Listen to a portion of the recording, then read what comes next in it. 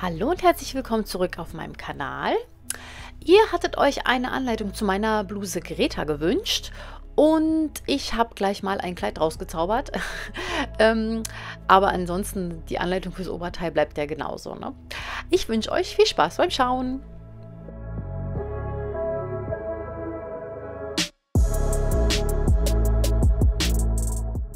Ja, Greta ist ein Schnittmuster für eine Bluse oder ein Blusenshirt, wenn du die Knopfleiste zusammennähst. Ähm, ist für Webware gradiert und das Schnittmuster enthält die Größen 34 bis 48. Der Hingucker ist natürlich die seitlich versetzte Knopfleiste. Sieht richtig toll aus. Und das Schnittmuster bringt auch wieder zwei verschiedene Ärmelvarianten mit. Genau, los geht's. So, hier siehst du die eine Seite des Vorderteils mit der Knopfleiste. Die ist dort. Und ähm, das Besondere ist, dass die Greta nur auf dieser einen, auf dem großen Vorderteil eben einen Abnäher hat. Die kleine Seite ähm, hat keinen Abnäher und das ist völlig okay so. Das ist auch so gewollt und die Bluse sitzt trotzdem gut. ähm, diese kleine Seite des Vorderteils ähm, hat dann natürlich auch den Beleg dabei. Das wird dann später die Knopfleiste, wenn das zusammengenäht ist. Das kommt so rechts auf rechts aufeinander. Und ähm, das ist natürlich auch zum Beispiel eine Möglichkeit, dem Ganzen noch ein bisschen Pfiff zu geben. Ähm, du könntest nämlich zum Beispiel alle Belege, die dabei sind, in einer Kontrastfarbe machen und das Ganze dann so von innen ein bisschen absetzen und ja, ähm, einfach noch mal ein bisschen individueller gestalten. Ne? Also, das sind hier alle Belege, die dabei sind. Das sieht auch erstmal auf den ersten Blick so ein bisschen komisch aus, aber ähm, das haut alles so hin.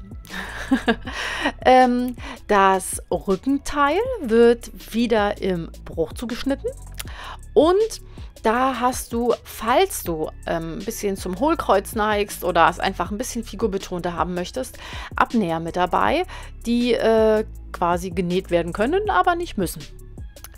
Genau.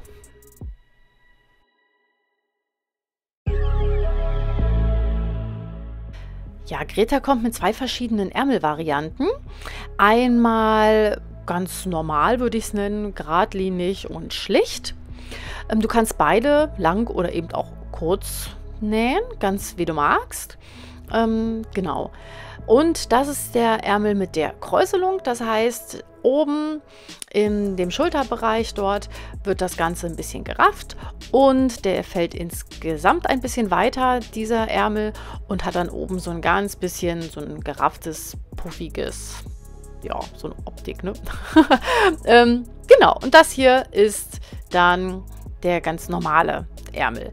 Und dabei ist auch noch ein Rüschenteil. Das ist der lange Streifen dort. Den könnte man quasi vorne mit an die Knopfleiste ranmachen. Dann sieht das noch ein bisschen fluffiger aus.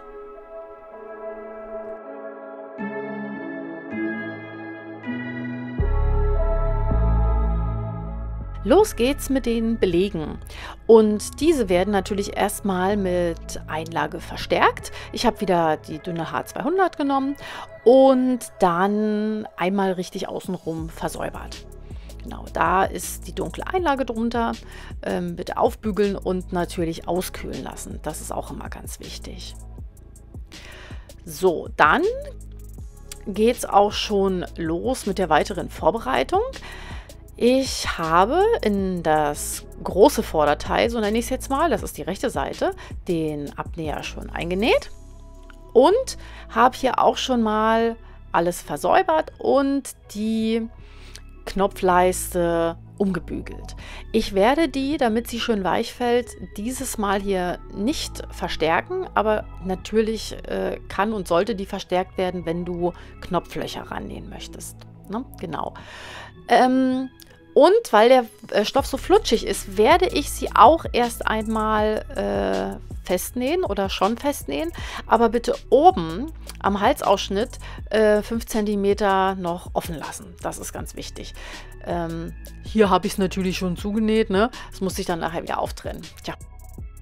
Also du legst jetzt als erstes das äh, Rückteil mit der rechten Seite nach oben zu dir, platzierst die beiden Vorderteile da drauf, rechts auf rechts und dann wird das Ganze an den Schultern eben zusammengenäht. Nun werden die Belege zusammengenäht. Das heißt, den rückwärtigen Beleg mit der rechten Seite nach oben hinlegen, die anderen beiden Belege drauf platzieren und alles dann an der Schulternaht zusammennähen.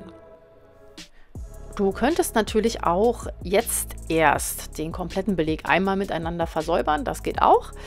Zusammengenäht sieht er nämlich dann so aus. Ähm, ja, so eine große Schlange. Weiter geht's jetzt mit dem äh, Zusammensetzen. Und das hier ist jetzt quasi das, äh, ja, das, die, die, ganze Bluse, ne? Die Rückteile und äh, das Rückteil und die Vorderteile sind zusammengenäht. Ähm, jetzt wird der Beleg drauf platziert. Bitte auch schön feststecken und dann wird das Ganze einmal entlang des Ausschnittes zusammengenäht. Genau, also, ne? das ist die rechte Seite, das Rückteil und das dann die linke äh, Vorderseite von der Bluse.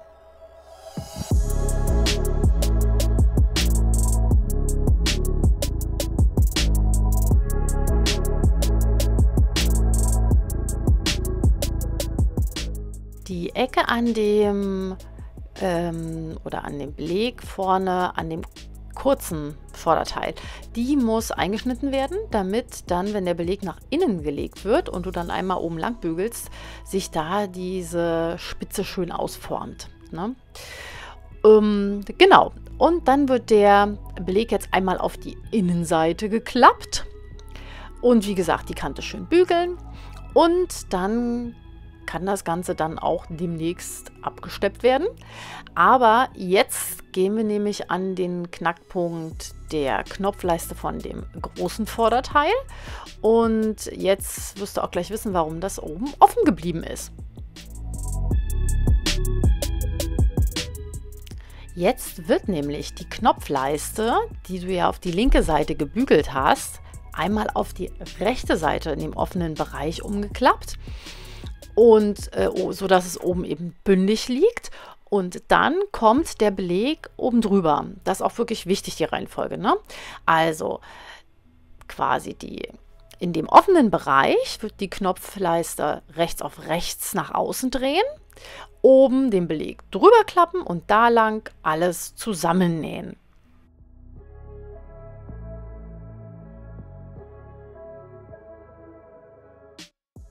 Das Ganze sieht dann so aus. Ich habe jetzt hier natürlich noch die überflüssigen Fäden dran. Die werden abgeschnibbelt.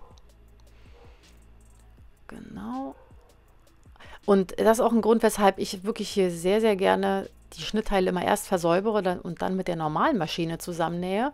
Wenn man sich mal vernäht, ist halt die Naht deutlich einfacher wieder aufgetrennt als die Overlock-Naht. Ne?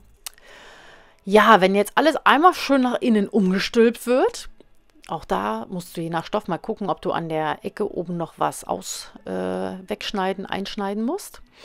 Ähm, dann sieht nämlich die Knopfleiste jetzt richtig schön aus und du musst nur noch diesen ähm, Rest oben eben wieder zusammennähen. Ähm, du kannst natürlich auch jetzt erst die komplette Knopfleiste nähen. Ne? Also das macht wirklich mal davon abhängig, wie das Material ist, wie das liegt. Ähm, ja, und ja, wie fummelig das für dich ist. Ne? Also ich mache es gern so und bei dem Stoff sieht man es jetzt auch nicht. Wenn es ein heller Stoff wäre, hätte ich wahrscheinlich jetzt erst die komplette Knopfleiste einmal durchgenäht. Ne?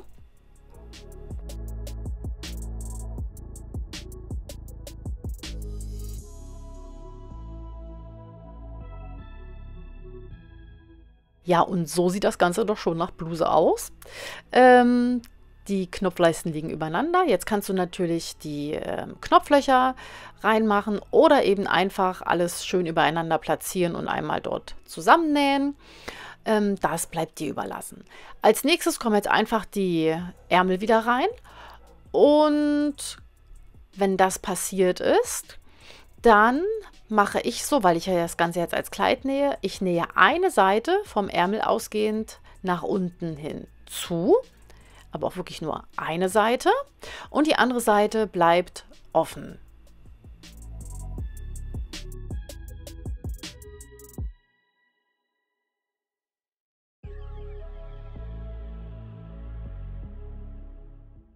Ja, und hier siehst du auch, ich hatte mir den Beleg vorher von dem kleinen Vorderteil auch ein bisschen länger zugeschnitten. So sicher ist sicher, ne? da wird jetzt einfach eingekürzt. Ähm, wichtig ist eben, dass hier das Vorderteil jetzt so äh, von der Breite her ist, wie es passt. Eben entweder zusammengeknüpft oder zusammengenäht.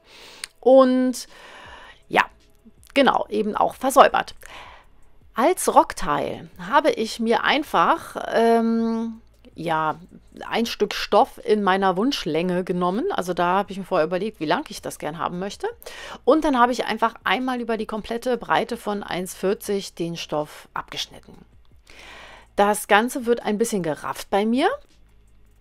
Ähm, genau, einmal äh, die Mitte markieren. Da habe ich eine kleine Stecknadel reingemacht. Und ähm, das wäre dann jetzt die Breite eines oder beider Rockteile eben gehälftet und die ist natürlich zu weit, um sie an die Bluse oben ranzusetzen. Deswegen muss der Rock gerafft werden. Und das habe ich wieder ganz einfach gemacht. Äh, das kannst du mit Framilon machen oder du kannst das auch mit dem Differentialtransport an der Overlock machen.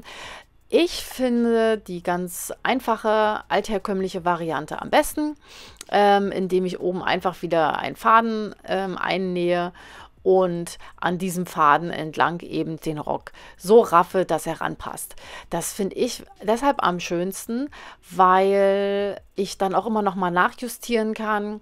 Ähm, während des Zusammennähens äh, ist alles gleichmäßig gerafft. Will ich irgendwo noch mal raffen, äh, möchte ich ein bisschen Raffung rausnehmen. Also mir ist das nach allem, was ich so ausprobiert habe, einfach die angenehmste Variante. So, nun heftest du den gerafften Rock einfach passend an das Oberteil. Und ja, die Mitte habe ich da markiert und lege das auf die Seitennaht. Und dann wird alles schön gesteckt und einfach zusammengenäht. Und wenn das alles zusammengenäht ist, dann nähst du die zweite Seitennaht einmal vom Ärmel ausgehend nach unten zusammen und dann ist dein Kleid eigentlich auch schon fertig und es muss nur noch alles versäubert werden, so wie du möchtest. Da das Ganze bei dem Stoff ein bisschen schwieriger zu erkennen ist, ich ihn aber trotzdem toll finde, habe ich ähm, dir hier nochmal eine Bluse gezeigt, die ich auch schon sehr, sehr gerne und sehr, sehr lang getragen habe. Ich hätte sie nochmal bügeln können, ich gebe zu. Aber so sieht das Ganze dann fertig aus oder eben so ähm, in der Variante, die ich gerade genäht habe. Ich habe jetzt hier noch meinen Gürtel genommen, zum, um das Ganze ein bisschen zu shoppen. Ja, und bin sehr, sehr glücklich damit. Ja, ich hoffe, es hat dir gefallen und lässt mir ein Abo da und einen Daumen hoch. Und ähm, ansonsten sehen wir uns dann beim nächsten Mal wieder. Tschüss!